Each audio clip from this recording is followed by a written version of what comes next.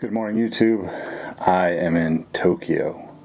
It's unbelievable. And it's like a bucket list trip that I never thought would happen. But being that I'm in Tokyo, there is a handful of places that I want to go, one place that I absolutely have to go, and that is Autobacs 8 Pit.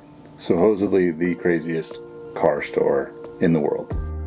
So when you first walk in, it's just overwhelming. It's massive. It's like a Costco, but way nicer. And there's this really cool four panel TV display that shows you what's going on in the maintenance pit, the car care pit, the oil pit, and the sports pit, which is kind of like the modifications pit.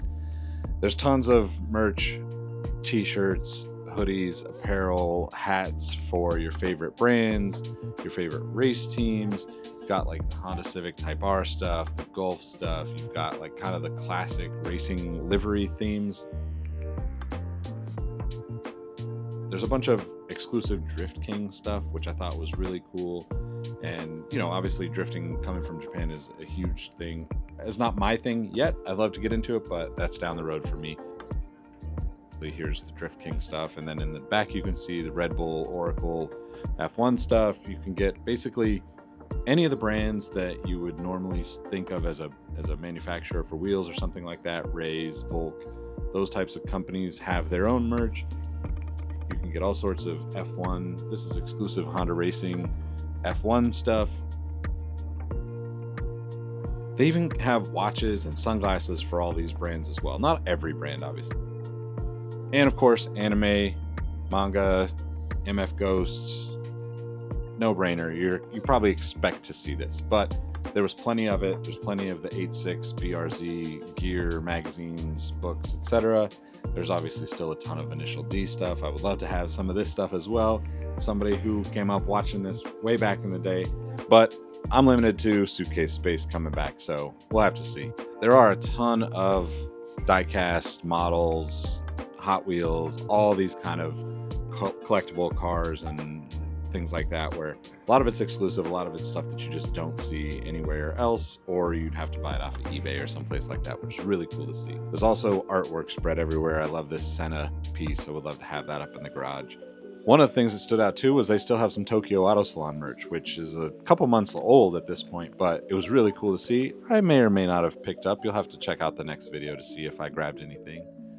But if you know me, I love magazines. I love books. I love photography. I love all of this lifestyle stuff that kind of goes alongside of the passions that we have in life. And for me, car magazines have always been a huge part of my life. I've been lucky enough to work for a couple of magazines throughout my career in the sneaker world, but to be able to see all of this in existence in print in Japan is really, really cool. It just it makes you appreciate the things that you're passionate about more, in my opinion, when you get to see other people putting effort into creating the print stuff, which I thought was really dope. And there's a ton of it. You can find your niche, whatever it is. If it's car related, it is in Autobacs. You can even get auto repair books for just about any car you can imagine, how to build an engine, all those types of things. Everything up and down the line that you can imagine in book or magazine form is in this store. It is incredible. I would love to spend tons of time there. It was even cool to see a lot of that Overlanders type stuff because obviously Honda Element is kind of my thing. I came across these classics, which are actually reprints of old original magazines that you can pick up which I did pick up one of those. I will share that in the next video. It was just so cool to see every style of car customization there. And of course, there's a Starbucks in the middle, so you could imagine I'd be hanging out here all the time if I lived in Tokyo. One of the other things that there was a lot of were these kind of like road trip and curvy road books. I thought those were really dope, like epic road trip books. There was a ton of different versions and uh, just really inspiring to see all this stuff. Now, obviously, like I said, overlanding stuff, tons of camping gear, roof racks, boxes. It's cool to be able to see them in person. That's my Inno that I have right there. Oh yeah, shout out to my friends at Dickies. There's a Dickies collab here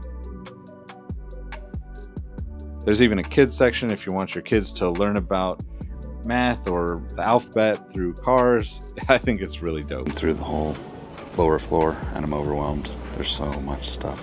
Haven't made it to the good stuff, which is upstairs. Okay, now we're kind of in the back section of the back half section of the first floor and or the second floor technically because the garages are on the first floor where they're doing the work on the cars. But basically anything you can imagine detailing products tools accessories i thought it was really cool to see even like the nylon lined sockets. Just tons and tons of stuff no matter what you're looking for they have it it is crazy and it's so hard to go shopping here because as an American who only has a suitcase to fill up to come back, I'm kind of limited as to what I can pick up. But it was just really cool to see all this stuff and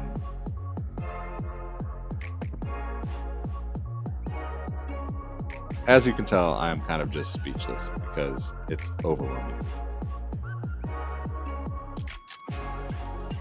And of course, they got the car audio entertainment gear, which is one of my first loves in this car thing. It's where I worked long, long ago.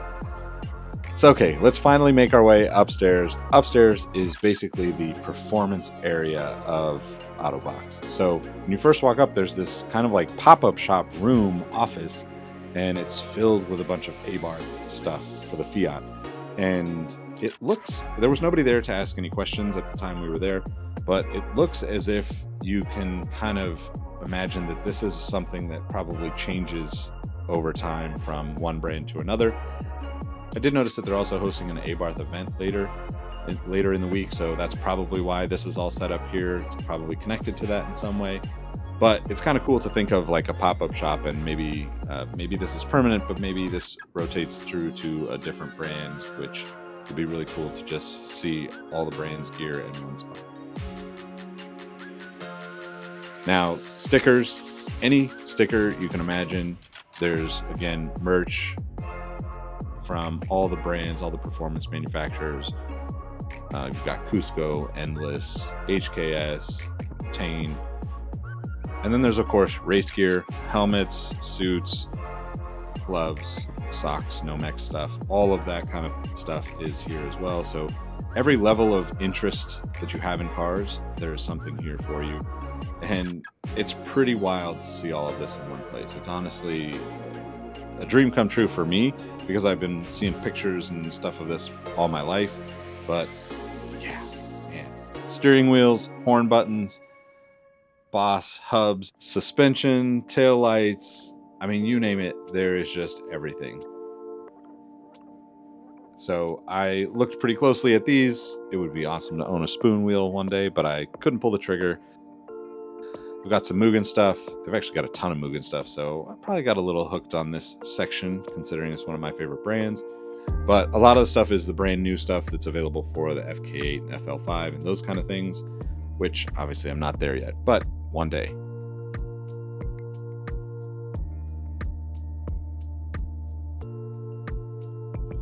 If you need emblems, if you need stickers, if you need any of the accessories, shift knobs, license plate frames, oil caps, radiator caps. It's all there. All the different brands too. Obviously, Mugen is a big one for me, but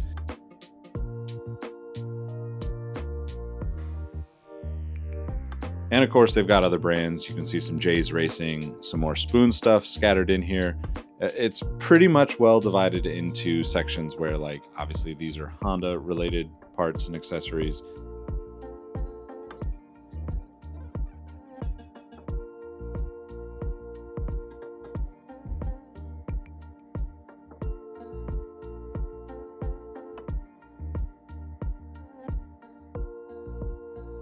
Of those things that you only typically see in a catalog, they're here on the shelf for you to just pick up, which is pretty freaking awesome.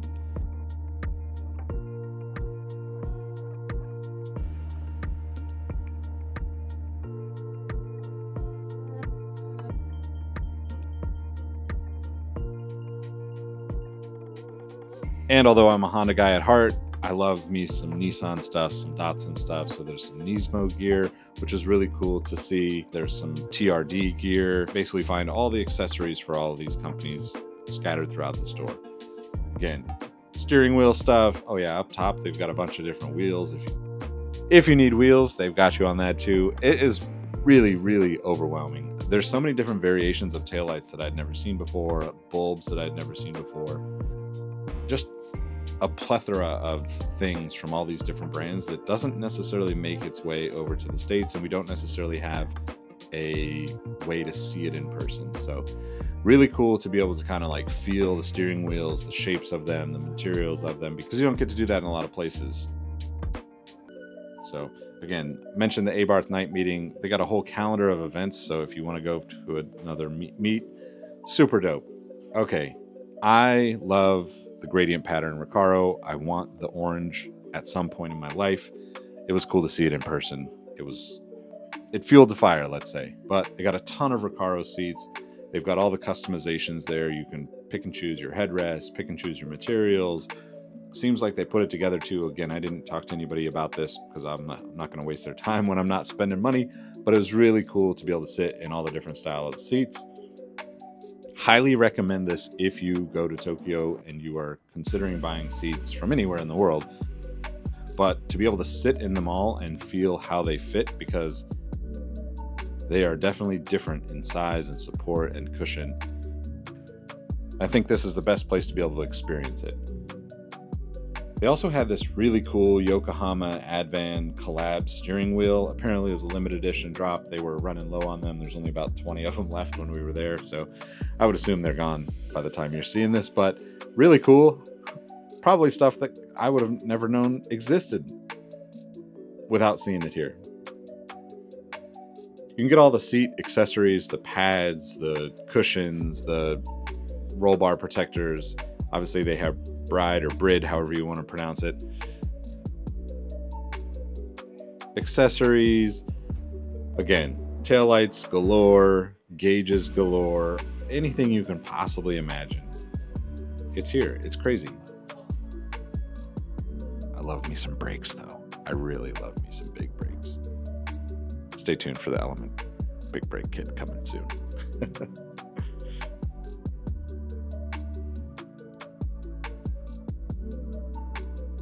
Brid seats, you can look and sit and feel and see the different setups. Uh, really cool. I really like the low max. I mean, obviously, I'm a bigger guy, so I kind of need the adjustable seat.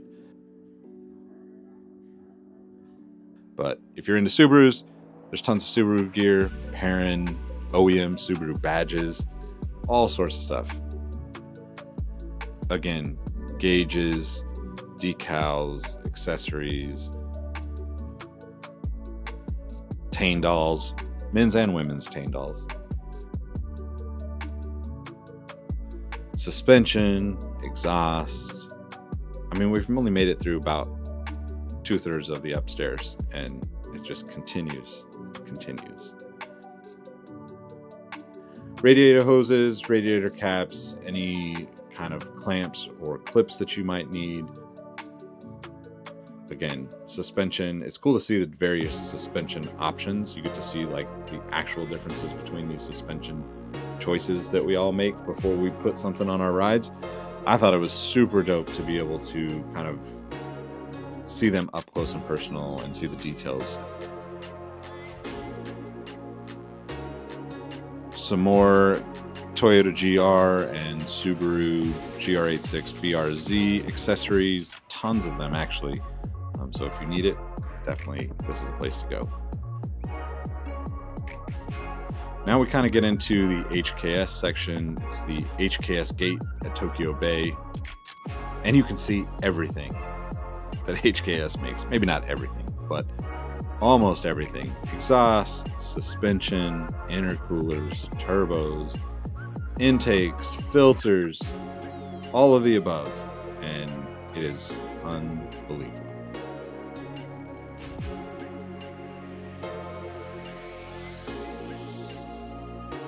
Oh, you need a bigger turbo or an intercooler? Here we go. Even if you need HKS fluids, they've got you. And of course, again, suspension, exhaust, all of that. Then I spotted these Puma HKS shoes, which are interesting because that's my world, sneaker world. but I had to take a closer look because it didn't quite look right. And they basically just have a sticker on the heel, which I thought was really odd. But the laces were cool. It's been like two hours and I'm still here wandering. It's amazing. I don't know what I'm doing anymore, but it's great. I just walked out of A Pit Autobacs. I am exhausted. It's probably like two plus hours. I have no idea. The yen is crazy right now, so I only spent like $200, but I feel like I bought a bunch of stuff and I'll share that in a future video. Thanks for watching. Hit subscribe if you haven't already. Appreciate y'all. Catch you next time. Peace.